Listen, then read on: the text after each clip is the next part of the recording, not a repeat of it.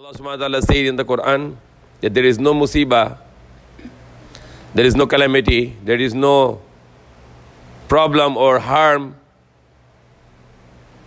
or affliction comes to except by the will of Allah. So all the khair, all the goodness comes from Allah and all the shar also comes from Allah.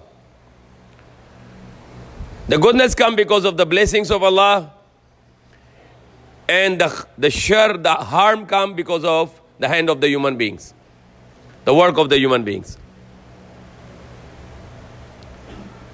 Yes, Allah said, "Bima nas." That all the shar comes because of the the the handwork of the man. Today we are in great calamity.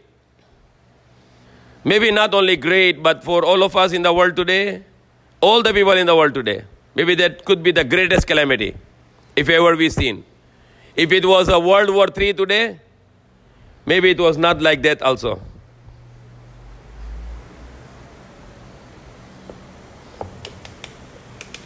The calamity we are facing, it's even the worse than the World War III, if ever there is a World War III. But what we are facing now, the hardship in the world today, it's worse than the World War III. If there is could be a, any World War III today. And only Allah can remove it. Allah said, if Allah give the khair, no one can stop it. And if Allah want to remove the hardship, no one can give you hardship. And if Allah give you the hardship, no one can stop it. Our foundation of our faith, the Iman, is La ilaha illallah. La ilaha illallah. There is no God except Allah. And the one of the meaning of the La ilaha illallah, because Allah is God, there is no God except Allah, so no one has power to give us a benefit and no one has a power to give a harm. No one can give us a power to give benefit and no one has a power to give us harm except by Allah subhanahu wa ta'ala. If anybody here or in the world today he believes that the corona has power to give us sickness, then he is not a believer. He don't believe in Allah. If anyone thinks that that disease has power to come by itself without the will of Allah, then you don't believe in Allah. How there are uh, fatwas given by the scholars that let's pray at home. Why? Why they are giving this kind of verdict? Do you mean to say that you go to the market, you don't get corona? you go to the public places, no get corona. Go to park, no get corona. Go to anywhere in the world, in the mall. But when you come to masjid, you get corona. That's, that's the meaning to say. And where is our faith? Where is our iman? That we believe that no, can, no benefit can come to us and no harm can come to us by the will of Allah, except by the will of Allah. Is there any Quran ayah that if there is calamity come, they can, you can stop praying in the masjid? Is there is any hadith which says you can stop praying in the masjid? You can stop making Jum'ah? Is there any, any ayah of the Quran? Any hadith of, in the Prophet Muhammad said that you can stop praying in the masjid, you can close the masjid, you can stop praying Jum'ah? And now, the masjids are closed. Our grand, grand, grand mosque, the Masjid al Haram in Kaaba, in Makkah, is closed also. You're not allowed to pray there. There are many calamities come in the history of the since the time of the Prophet Muhammad. Even the Sahaba, the, the great Sahaba, they have a calamity of this kind of epidemic, but they never stop praying with gathering. They still pray with gathering. They still trust Allah. Because Allah is the one who can cause you, cause us to give the sickness, and only Allah is the one to cause us to death. No one can have a power to give us a disease, and no one has a power to cure it except Allah. In Quran, Allah mentioned about Prophet Ibrahim alayhi salam. And Allah said that he was saying to Allah, وَإِذَا مَرِضْتُ فَهُوَ يَشْفِينَ And when I get sick, then He, Allah, He cure me. Allah said also, for example, in the in the in Ramadan, if you are sick, don't fast. So it's okay, it's medically okay. If you have some kind of sickness, we are not fit to fast, then Allah said, don't fast, but you fast after Ramadan. But Allah never said in the Quran that if you are sick, don't pray. Did Allah say that in the Quran? But for the fasting, Allah said, if you are sick in the month of Ramadan, then you can complete the fasting after Ramadan. Litukmilul idda. You complete the numbers after Ramadan. Allah said about the fasting for uh, Ramadan. Did Allah say it also? If you are sick, don't pray. Where did Allah say in the Quran? Don't make jamaat. Don't go to the masjid. Where is it said in the Quran? A man came to Prophet Muhammad he is blind and then he want to ask permission to pray at home. And the Prophet Muhammad did not grant him permission even to the blind man to pray at home, but he tell him you should go to masjid. And now, subhanallah, millions of Muslims, they are not praying Jummah today. Millions of Muslims. And they are not praying Jummah is because they, it's not them to decide that. But it is a curse of Allah. It is a decision of Allah that He is not permitting them, them to come to His house. They need to cry for that. And we need to be thanks to Allah that we are out of the 1.5 or 1.7 billion Muslims. We are few in the world today who are here given this honor to come to the house of Allah to perform Jummah. We should be thanks to Allah, not to be arrogant. Hindi mayabang.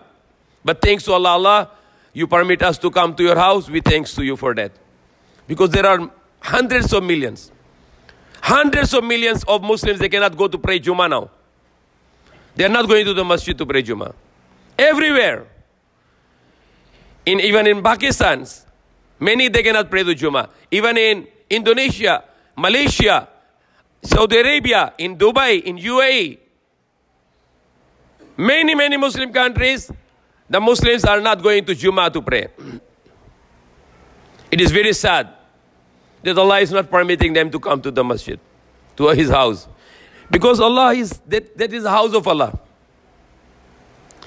Example, you have an enemy, kalaban mo and you don't like him, will you allow him to come to your house?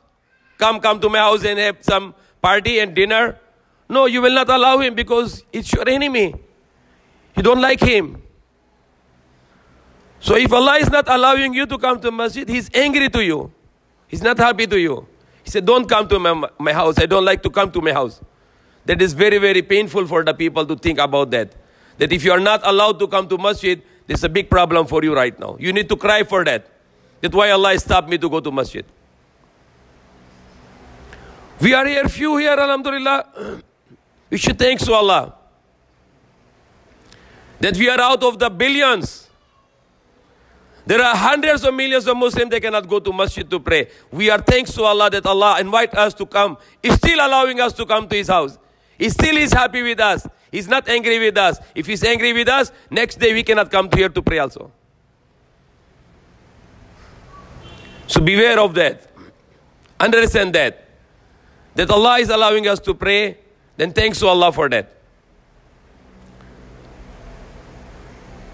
And the more we thanks to Allah, the more we make blessings.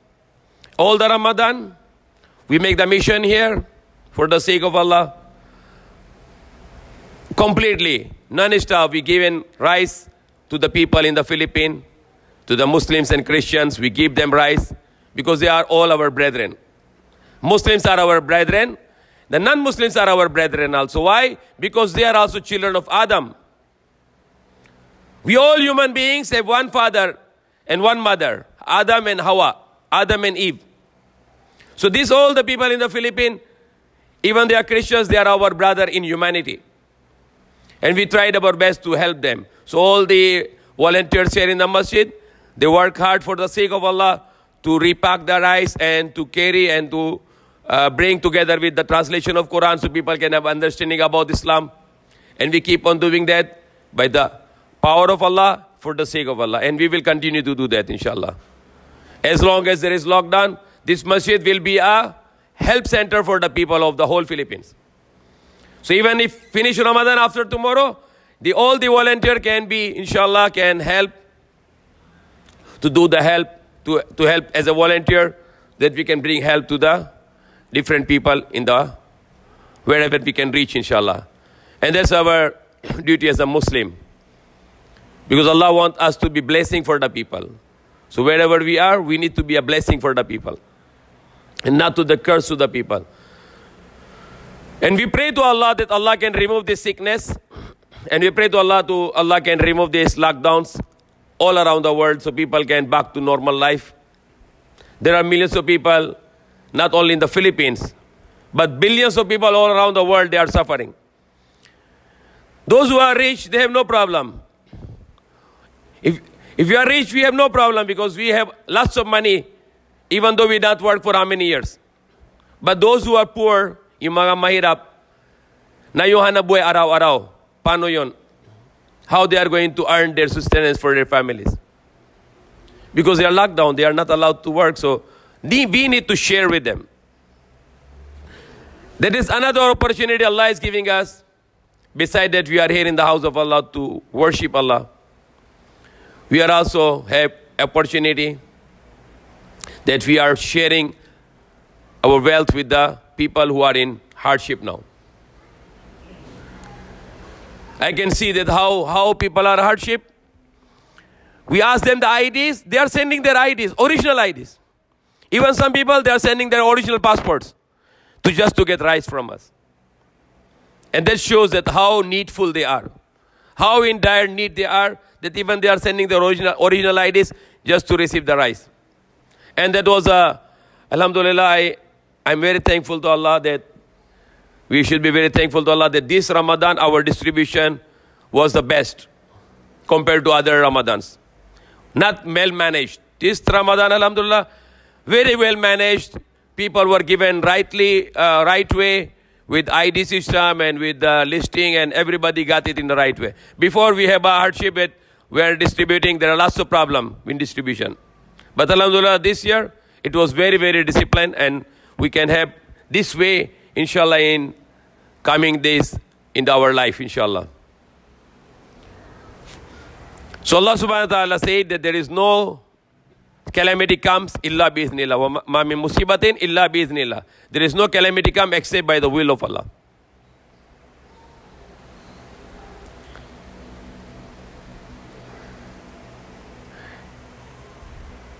And our gathering here was, we requested to the barangay that uh, there are lots of Muslim coming from the poor areas here and they want to eat here because they have no income, they have no salary, they have no uh, walang hanabuay. And they are fasting, so they want to stay in the masjid as their residents for the month of Ramadan, so they can eat here in the early morning before dawn and they can eat after breakfast, after the sunset. And the barangay stamp and they allowed it. And the main re- the, the reason for them to stay here is a volunteer to repack the rice. And we are also sending the chicken products and then to send to the people so they can have a sharing from us. So those who are volunteers here, they can, when they are here, of course they will pray also. And then they can pray also Eid also. But we are not announcing here to come people to pray like Eid or Ramadan because we are living in a subdivision and there is a restriction here. Outsider cannot come. So those only who are allowed by the barangay, those who are staying here as a residence to eat here, they will be continue to perform, be here on the Eid after on uh, Friday, Sunday, inshallah. The holiday government by the president is on Monday, but the Eid will be on Sunday. So this uh, gathering, uh, you can have your all the volunteers here who are here to distribute the rice and help to the people. They can have the gathering with uh, uh, praying and then always observe the social distancing also. So we thank to Allah that we had this wonderful Ramadan And we pray to Allah that, that we will not have this kind of Ramadan in the future, but the same Ramadan as usual we have all around the world. But still, we thanks to Allah that we did all our duties here, especially our sharing with the uh, people in the Philippines, to the Muslims and Christians. We give our best help to them by the, for, the sake, for the sake of Allah and by the will of Allah. And we will continue to do that. Inshallah, we, we can also emphasize on the, the things to Ramadan we did. For example, the Laylatul Qadr, the last 10 nights. yesterday was the ninth of night among the last 10 nights, 29th. Today, tonight will be the 30th night. So inshallah, we can have continue to have uh, observation of uh, wake up in the night to pray Tarawih then Tahajjud then some uh, understanding about Islam and so on. And inshallah, we will, uh, tomorrow will be Saturday, inshallah, then there will be no program for Saturday night anymore. Just a live program tonight by the uh, WebEx, and then inshallah, Sunday will be the Eid. And this Eid will be only for the people who are here. We are not going to announce people because that will be against the, the because we got the permission for the volunteers living here in the masjid for their hardship and also as a volunteer. So they, they are staying here. It's like their residence now. So they can just continue to pray here as usual. And that's all. But we are not going to announce for the Eid for the, this Sunday. And then inshallah, hopefully that next uh, next coming Ramadan, inshallah, the situation will be not like this, inshallah. And as a belief that we are believing that there is no harm and there is no goodness comes but by the will of Allah. So we should have to emphasize this. People who are fear the disease, they get more disease. Because it makes your immunity very weak. And if you think that you will really get the problem, then Allah will really give you the problem. Because Allah said in the Hadith Qudsi that I am with the expectation of my slave. Whatever I think of me, I will do it for him. So if you think that you are going to get sick, then Allah will make you sick.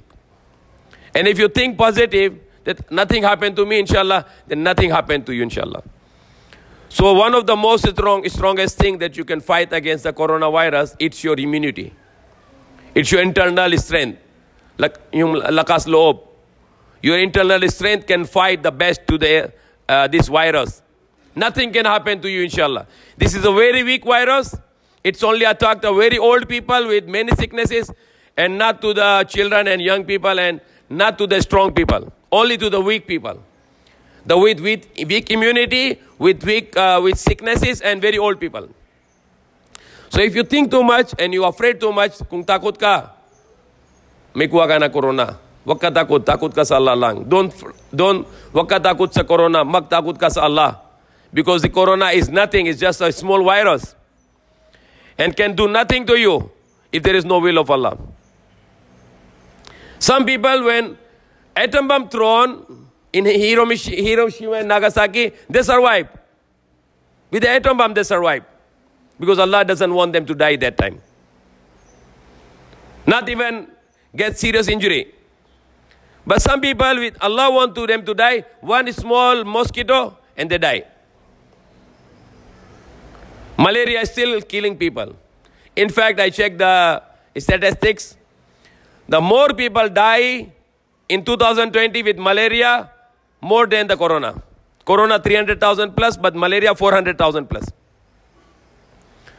For the cancer, maybe more than 3 million people died in 2020. For the communicable diseases like TB, more than 5 million people died in 2020. So corona is not lethal, it's not deadly.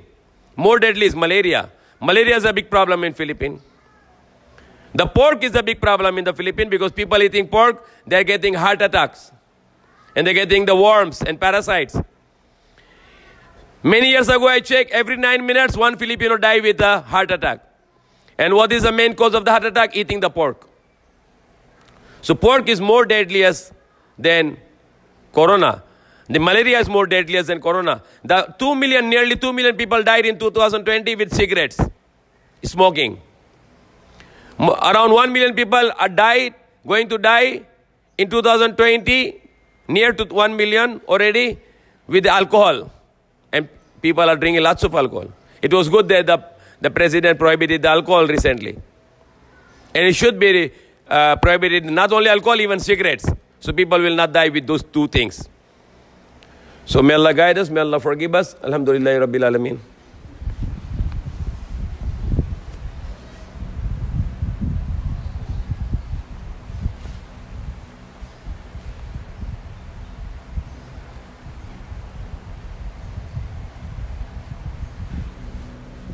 الحمد لله الذي نحمده ونستعينه ونستغفره ونؤمن به ونتوكل عليه ونعوذ بالله من شرور أنفسنا ومن سيئات أعمالنا. ومن يهد الله فلا مضل له ومن يضلل فلا هادي له. ونشهد أن لا إله إلا الله وحده لا شريك له. ونشهد أن محمدا عبده ورسوله. وقال الله تعالى وما ما من مصيبة إلا بإذن الله and there is no calamity come except by the will of Allah. So all the calamity comes is only by the will of Allah. So this calamity here today, not just a corona, but plus the lockdowns, it's by the will of Allah. And it's because of the sins of the mankind. Kasabat 18 nas. It's because of the what the man earns with his hands. So if we change, uh, if the Muslim, if the, if the people in the world change their attitude, then Allah will also remove the punishments. So this all punishments is here in the world today is because of the the evil of the people. The people need to change their lifestyle, stop sinning, obeying commands of Allah, then Allah will remove it, inshallah. So, lots of uh, lots of sins. Uh, the people, the most of the people are dying for corona in USA, in Amer- in Europe, in USA, in Europe, and in USA, in Europe, they are allowing almost all sins. Alcohol is allowed, cigarettes is allowed, uh, the fornication is allowed. Men and women can have an illegal relation without marriage. It's allowed there. How much worse in America and Europe, they are allowing the man to marry a man. The most cursed sin. If you read in the Quran, the people of Lot, they were homosexual. Allah cursed them the high. Very highest curse in the Quran. The very highest punishment for them. And in America and Europe, they are legalizing the man can marry a man and woman can marry a woman. And it is one of the greatest curse comes with this sin. And they are making it lawful. Even though there are, there are uh, minority in America and Europe, they are speaking against that. Not all people are bad. There are many people who say it's bawal. The man cannot marry a man. A woman cannot marry a woman. Some people in America and Europe, they are against that system. But majority, they agreed and they, are, they implemented. They allowed in their countries. So that can cause lots of curse. There are places in USA and, and Europe, before, maybe now also, that they are going to the beach, no clothes, naked, just like newly born. Just like they come from the womb of mother, they're naked, no clothes. They go in the street, no clothes. So the, there are lots of sins. The Prophet Muhammad said, the one of the sign of the day of judgment, the end of the world, when people will be doing the sex in the street. The shamelessness, the nakedness, the pornographies. And the pornographies is everywhere. In the hands of the young generation. And they watch the pornographies and they become like animals. So these all the sins are inviting the punishments of Allah. So we need to tell people stop doing sin. Then Allah will stop His punishment. So may Allah guide us. Inna Allah malaikatu salluna ala nabi ya ayyuhalladhina amanu sallu alayhi wa sallimu taslima. Allahumma salli ala Muhammad wa alihi wa sahbihi wa sallim. Rabbana atina fid dunya hasanatan wa fil akhirati hasanatan wa qina adhaban nar. Amin. Ya Allah, our Lord, give us good in this world and good in the hereafter. Save us from your anger and save us from hellfire. Amin. Ya Allah, be happy with us and enter to us in Jannatul Firdaus in paradise in our next life forever. Amin. Ya Allah, guide us. Amin. Allah, forgive us. Amin. Ya Allah, mercy on us. Amin. Ya Allah, mercy on us. Amin. Ya Allah, mercy on us. Amin. Allah protect us, Amin. Allah protect us, Amin. Allah protect us, Amin. Allah give our children long life, Amin. Allah give our children long life, Amin. Allah give our children long life, Amin. Allah give our children and all the children of the world long life, Amin. Allah give our children and all the children of the world long life, Amin. Ya Allah give our children and all the children of the world long life, Amin.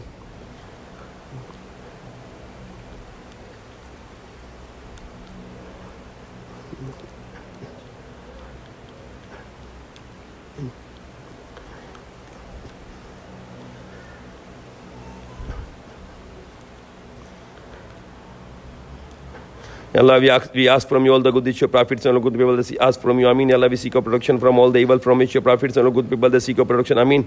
Allah, protect us. Ameen. Allah, accept all our dua which ask and ishinda task. Ameen. Allahumma salli ala Muhammad wa ala alihi sallam. Rabbana taqabbal minna innaka anta samiul alim wa tub alaina maulana innaka anta tawwabur rahim. Subhana rabbika rabbil izzati amma yasifun wa salamun alal mursalin. Alhamdulillahi rabbil alamin.